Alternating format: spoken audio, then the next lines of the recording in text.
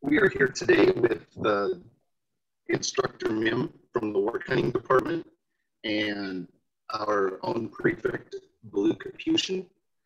Um, we are going to be discussing um, interviewing Soror Mimm's, um, um, her, her role in the Wortcunning Department, as well as how Wortcunning and the Homesteading Club um, kind of overlap their uh, functions as well as their goals. And so, uh, again, without further ado, I will go ahead and turn it over to Prefect Blue Capuchin and let her get on with her interview. Excellent. Thank you, Mer- Vice Captain Merqatyl, very much, and for your assistance in having this interview happen.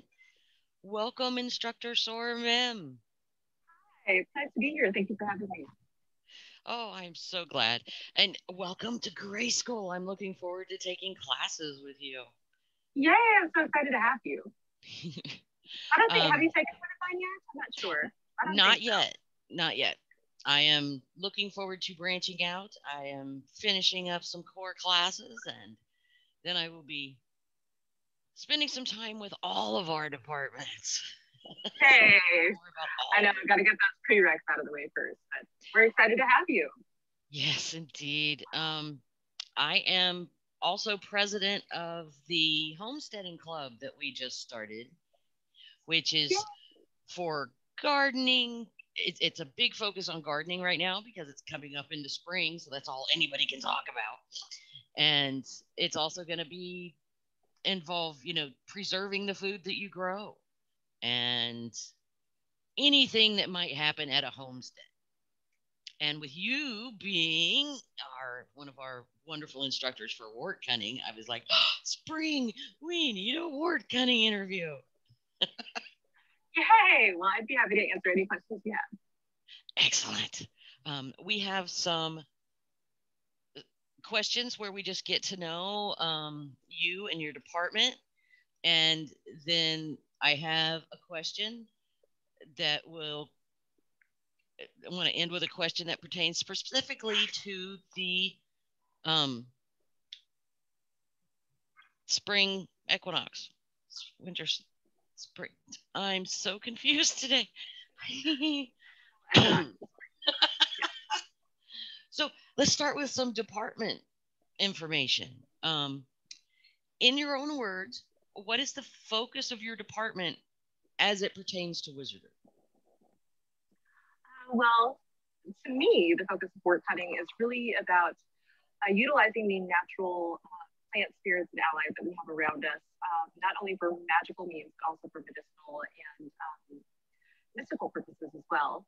Uh, my perspective tends to be a little bit different than uh, some other herbalists, although I do have a master's in herbal medicine and uh, I am clinically trained and I do still run a private clinic myself.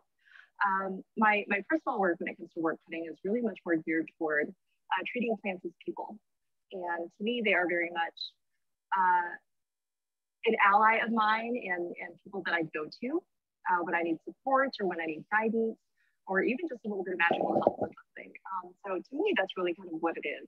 Uh, within the context of Grey School, I think that our department really encompasses so many other different components within within magical work um, and what it means to be a wizard even. So when I think about uh, wortcunning as a department, um, I think about all the different things that I do with herbs themselves.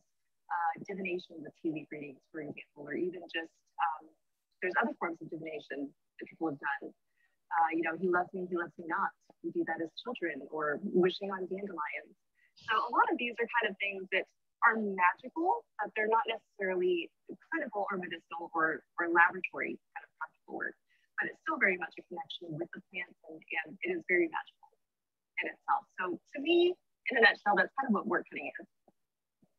Excellent. Very that makes a lot of sense to me.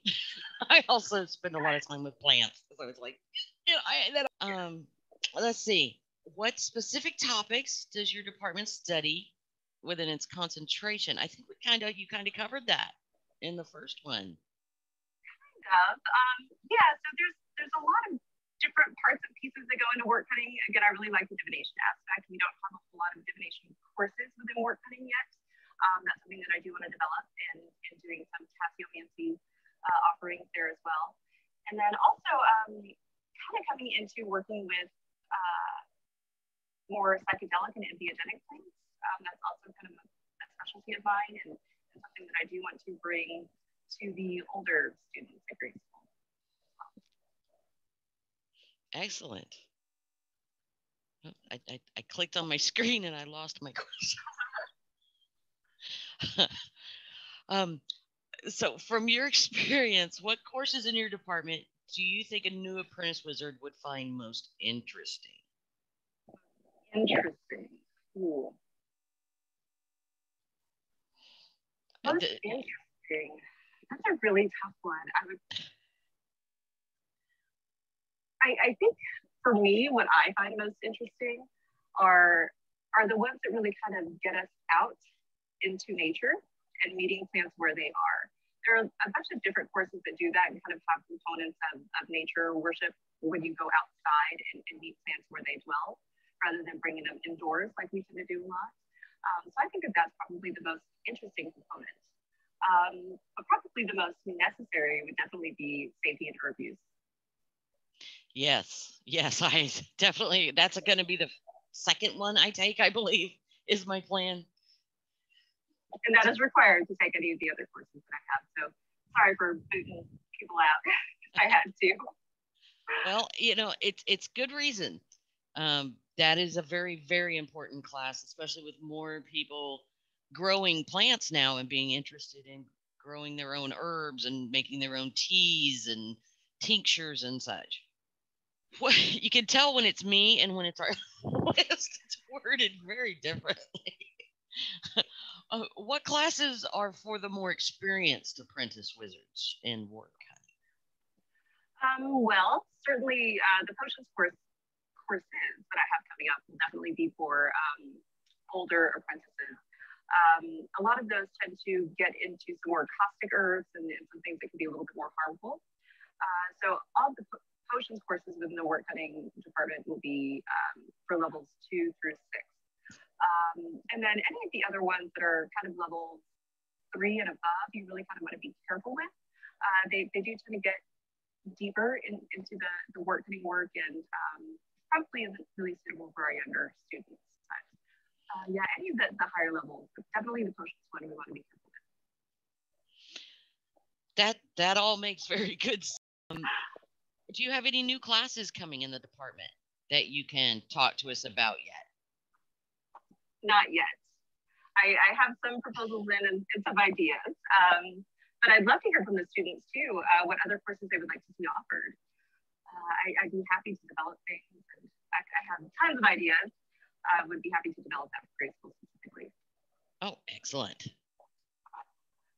Yeah, so guys, let me know if there is anything that you want to see with the wortcunning. Shoot me an email. Yes, and this should be up for everyone to watch at Moot and after. So that message will get out to people repeatedly. Are the faculty in your department collaborative or more solitary? Um, I definitely say collaborative. There aren't many in the wortcunning department. Um, and so I work closely with Katie Ravensong, the Dean of Wortcunning, uh, to really kind of make sure that everything's running smoothly and that we're working together with our students and uh, really just kind of making sure that we support each other. Well, that's good. Yeah. You know, actually growing our plants, especially right now, we do tend to be more solitary this year and last year. and, and, we do. you know, we're with our plants that we talk to and love. It's not really solitary. it's not, and I can get lost there for hours. Hours with my plants. The whole day is gone, and, and I realize, oh, I need to create some papers. Rude awakening. It's time to do work. Mm, like, mm. I'll read all day long. That's fun for me. Um, let's see. Um, what can apprentices do with the wisdom they will obtain from your department? Oh, goodness. Uh, I think the great thing about wortcunning is that it really can go into many different, not just magical uh, perspectives, but also very real careers. Uh, chemists and botanists and uh, even modern day alchemists can definitely use a lot of what goes into the wortcunning department in some of our courses. Uh, if you're looking to be a home herbalist or if you want to make your own product, definitely look into the wortcunning department, take some of our classes. You can learn how to properly prepare herbs, how to uh, make products with them, uh, different processes and, and methodologies of how to properly prepare different herbs and their types, um, different formulation methods. There's a lot of that too. That's also specialist uh, courses as well, a little bit more laboratory work. So uh, when it comes to anything that you learn within the work department, I think that it's definitely uh, conducive to increasing your skills in other magical areas as well. Again, kind of that connection between uh, plant spirit ally and, and self, our, our self spirit, um, getting deeper into connection with, with other beings, plant beings, which we don't usually think about as, as another type of person or another type of entity. You know, we have a lot of animal worship or or um, animal speaking and things like that. People look to animal totems for a lot of a lot of wisdom, but we tend to forget the plants, or we, we treat them just as things to be used uh, rather than things to work with or people's needs and even just to help them out where we can. Okay, off on another tangent. Are there any professional, scholarly, occult, or mundane organizations that apprentices can join to further their knowledge and networking opportunities in this field of study? Absolutely. Um, so the American Herbalist Guild is definitely one that you want to go to. I've got cats. They're going a little crazy back there. Um, yeah, I'm so surprised the American mine Herbalist haven't Guild, been up yet. I've got three black cats around here somewhere. But yeah, so look them up. They can be found at AmericanHerbalistGuild.com. Uh, they put on an annual symposium with herbalists from all over the world to do different uh, presentations and conferences. They offer training, uh, continuing education for those who are in the herbal field or nutritional field. Um, you can also even petition to present at one as well. And if you're there, I will see you at conferences. Excellent. That's that's a good one. I had not thought of that one. So now we're gonna get a little more personal with our questions. what was the turning point that clicked and you said to yourself, I want to be a part of the Grey School of Wizardry faculty?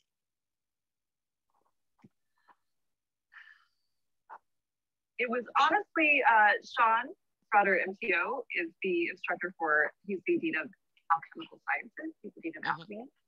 Um, and he told me that uh, Grey School was looking for some new instructors and possibly somebody for the wortcunning department. So I reached out to Ambika and, and uh, decided to possibly apply and chatted with her. Uh, sorry, Dean Ambika, uh, for a while there. And then we ended up, uh, yeah, just going through the motions and I applied and it went well. So here So apparently some of these questions are more like questions for an apprentice than for faculty. Um, put it that so this this next question would apply in in your own words describe what the future holds for your department Ooh, well, I'm still fairly new to Grey School, but I'm really excited to get more students in.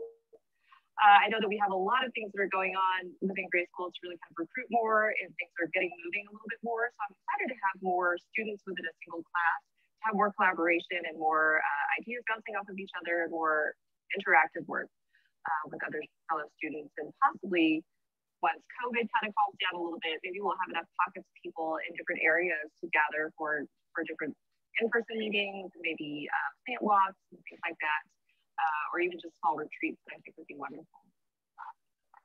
oh i i know the perfect place to host one of those we have a lovely uh it's uh called pagan owned land it's a bunch of nature lovers got together and purchased a large piece of land and reclaimed it and Really? they're actually on hip they're on hip camp and it's a beautiful place they they're It is in Vernonia, Oregon.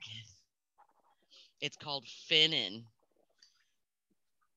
Oh my goodness, how funny. Oh, I don't want to speak too soon. About you moving to Oregon. How excited. Yay! You're going to love it here. It's a uh, state. Yeah, there's a really good position at uh, Mountain Rose. So. Wave to the people. Say hi. The Chihuahua was whining behind me, so she came to get him. Before he goes into, he'll throw his head back and do like a, a basset hound howl. oh, oh, oh. What's his name? His name is Latte, and he's 16 years old and officially toothless as of two weeks ago. He's the last one left. Uh, he's our he's our little rescue Bowie. he, he's ready for mommy to go sit with him on the couch. Are you done yet? Yeah, mama. I finished my dinner and now I'm bored. so I have a question. Um, when we do a live interview, this is where we do um, an open forum with questions for people. And I have one that are, I had worded it better in the email I sent you. The forest is alive. Spring is throbbing in your house. You feel it? It's I can feel it waking up. Yes. um, what are I, I didn't phrase it well on this. I, I did better phrasing it in the email. Um, spring equinox is coming up. And how does wortcunning and the various classes kind of relate to spring and the meanings of spring? This is where we're all starting to do things and take action to reach our goals and starting our seeds for those of us that our snow is mostly gone. or, yes, we're going to stick with spring. well, I know that spring is kind of the time where we're all more aware. We can actually see the, the growth and the movement that has been happening since the fall. Um, so when it comes to plants and wortcunning, I, I, I do see how it can be conducive to enlivening our lives and, and really kind of bringing in enlightenment and, and uh, embracing the light as it's coming toward us in the springtime. But when it comes to wortcunning, I think that it's definitely a year-round process. Um, and that death part that we just went through, uh, when it comes to plants and within wortcunning, is just as important as, as the birth and growth of spring. But I think uh, everybody within the wortcunning department or those who are interested in wortcunning should to really respect and realize uh, and really kind of get good at recognizing plants and knowing them when they're not in full bloom. Um, just like with our friends, you know, when they're kind of down or at their worst, or kind of not feeling good, or they're hibernating themselves, that's when we really want to check on them. Same thing with our plants too. We don't want to lose touch with that aspect when we are hibernating, hibernating ourselves or kind of turning inward at the darker half of the year. But since spring is here and we are all just kind of excited to get outside and get into the warmth, uh, that snow melt still does have a lot of really good uh, attributes for seeds themselves. There are a lot of different You're about to get hit by your plant. Which one? the, the one in the hanger to your left. The whole thing just shifted. they got a good hit in. I'm telling you, these pads over here. It was swinging. It looked like it was about to hit your head. Probably would. Wouldn't be the first time either. Oh, our animals. Speaking of spring, there's a prime example. Plants hitting you in the head. I know. I mean, this is crazy. So much fun. Well, you know, as you mentioned, the you know coming out of the the dead time of year, um, without that die off of the greenery from the previous season, there wouldn't be the nutrients for the next season to come up. It, you know, there is no waste. Um, is there anything else that you would like to share with the apprentices of the Grey School of Wizardry? Um, if you are uh, venturing into starting some seeds and growing your own plants, the only thing that I can recommend doing if you're new to growing is start small. Um, it can be so overwhelming. I, I get a little overzealous and get really excited when I start my seeds. So I end up planting hundreds at a time. You never know which ones are going to actually come up anyway, so it's not awful. But when you end up killing over 200 of them because a cat jumped and completely just ruined the whole tray like that, you want to be careful with it. Yes, I, I'm always really guilty about planting too many seeds and I don't want to kill any of them. And so I overload my space and then some of them wind up dying anyway. And we have outdoor, a lot of feral cats. I'm a little on the edge of the countryside. So it, it, it was interesting to watch raccoons eating the leftover zucchinis that got left too long at last fall. So I'm kind of interested to see if one comes up where that was at because I, I, watched as the the color left it as they were eating it and then ate through the middle. yeah, you should see uh, if you leave different fruits and veggies on the ground and they start to ferment. Uh, squirrels and raccoons have a really good time. Fun to watch. Oh, that that explains why they come to the apple tree in January, February.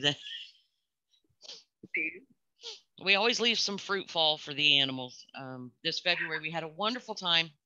Um, the holly tree, you were talking about some plants are safe and some others aren't.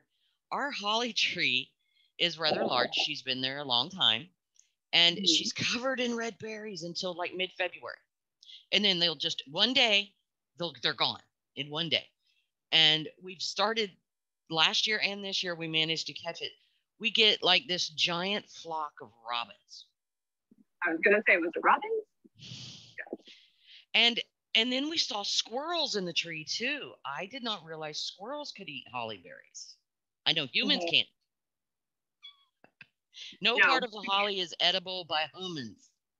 You can, once you've learned enough in alchemy and herbology, there is some things you can do, but 99% of the time, no. People don't realize how poisonous so many things are. I mean, tomatoes, if they aren't right enough, potatoes, there's yeah, so many. Yes, I'm I'm looking at growing potatoes this year. I've been watching YouTube videos. Way too. Are you gonna do a box? I am. I'm gonna do a box. I, I have. We had to redo our 30 something year old fence so I am reusing as much of the wood as I can, and I'll be using some of that to make potato boxes. And I picked up fingerling potato starts. Yeah, but we was, had more potatoes than we knew what to do with. Right. Dry can, pressure canning. Peel them, cut yeah. them up, put them in a jar, process them. Ta-da! Awesome potatoes. Baked potato. There's a woman puts whole potatoes in. It's amazing Yeah, and it pressure cans it. Then you just take it out, warm it up, put some butter on it. Ta-da! Yum! Yeah, it's brilliant. I can't. I, I can't wait to try it. But if the sun reaches the potato itself while it's growing, then it gets a po- it's poisonous. The skin is actually poisonous. So you have to make sure you keep the soil up over the potatoes. So I've gotten mm-hmm. really where I rarely eat unpeeled potatoes because at least one spot will get peeled. So if I see any green, I go, yeah, no. yeah, gotta be careful with that. Okay. man. so I would like to thank you for interviewing with us and tell you I love your coffee mug. Thank you. it's very pretty. Me and my boyfriend we can appreciate them and respect them. It's when you don't know what's poisonous and you don't respect it that you have problems. Good point. Thank you very much for chatting with us. And Carmen, thank you I'm so much again. You more later. Thank you so much for having me, guys. I look forward to talking to you again soon. Thank you. Goodbye, Instructor Mimm. Bye. And